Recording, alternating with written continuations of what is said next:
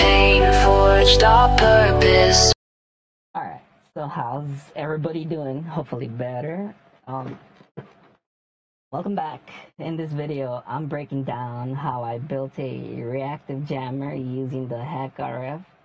This device scans the frequency range in our 2.4 to 2.48 gigahertz, which includes Bluetooth and Wi-Fi bands, and then automatically transmits a jamming signal when suspicious activity is detected. We use the custom, we use the custom script to sweep the band, identify active frequencies, and deploy either white noise or a custom payload to disrupt communications. The system reacts in real time and can be configured to deliver specific effects depending on what it detects. I'll show you the full setup, including the um, .bat automation, the Python controls, script, and how we injected the funny or disruptive signal payload, whether you're experimenting with SDR, testing security tools, or learning how hack. Oh, okay. So if you look at the, this is our jammer log.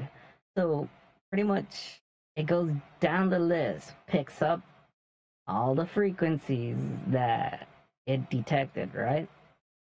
It logs them that allows the program to basically pick up this data, go into it, and start unpairing as it goes down the list.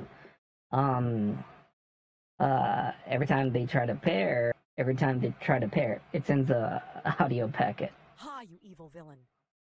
but you could kind of modify it. As we're going down, we have a few files. Uh, each one does something else. Um, this one makes the white noise.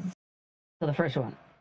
So this is the auto jammer file, right?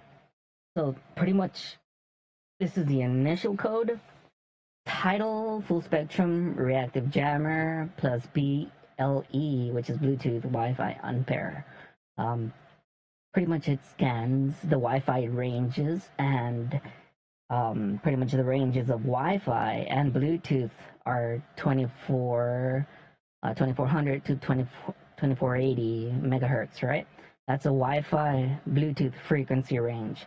So we sweep through that range and pretty much we pick up the frequencies, the frequencies that are within those ranges. Um, once all the frequencies are detected, then we run the sort of like the reactive jammer. Um, and pretty much what it does is it goes down the list and unpairs everything from it. Um, here we go. Um, the next file. This is sort of the Python. So if you don't have Python installed, make sure you get that installed. Uh, pretty much this is the code um, you can sort of go down it. Um, so basically, after the frequency is detected, you can basically go to here. It'll tune in to that specific frequency, deliver the payload, which is a bunch of white noise, and it'll basically interrupt it long enough uh, for it to be unpaired, right? Um, some of these devices take a while to pair. Um, so pretty much, we go down the frequencies and deliver the payload, and pretty much continue going down once everything. Uh, once everything is pretty much jammed, our system goes in and rejams, uh, well, detects and then rejams everything again. Um, most of these files will be in Discord, so you just have to pretty much run it. Um, you might have to install a few things like uh, Zedig, Python, so it kind of knows what to do. And most of it is pretty much ran in the command script. Um, all right. So right now, still working on the anime. Um, yeah, have it's the actual anime, and my team's limited. It's I've been kind of working back and forth trying to uh, balance life, lead developer, and the anime. Um, anyhow, we have AutoJammer that this is kind of our executed program. Once you start the it this, you go down the list, and then it starts kind of uh, running down the script, right? So first, let me show you AutoJammer. All right, so if you can see here, this is the HackRF, and before you connect it to the computer, you have to uh, pretty much pair it.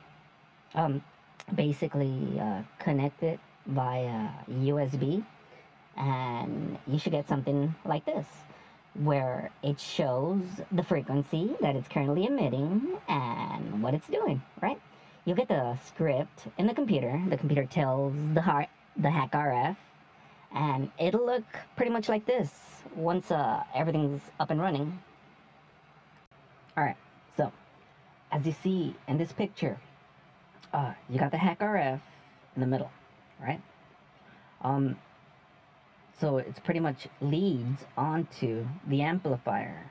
The amplifier is the green part, and then it leads towards the antenna. Make sure that you try to grab this antenna. It usually comes with a kit. Um, this is how it can uh, detect uh, various frequencies. Um, and it, it did take me uh, quite a few hours.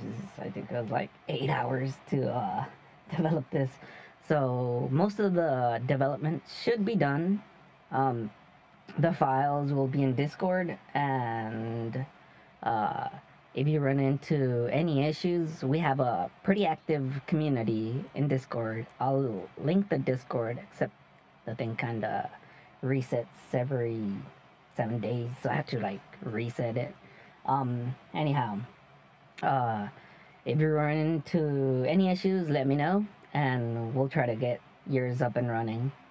Oh, things that you will need is Zadig in order for for you to be able to run the script while the HackRF is connected to the to pretty much your computer.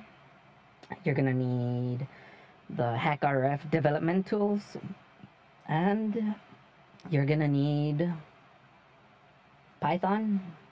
You're also gonna need um, actually that should be it. With those things, you can pretty much uh, develop it, fill in the gaps. Uh, each computer is slightly different, so it, it might have to be remodified depending on your computer.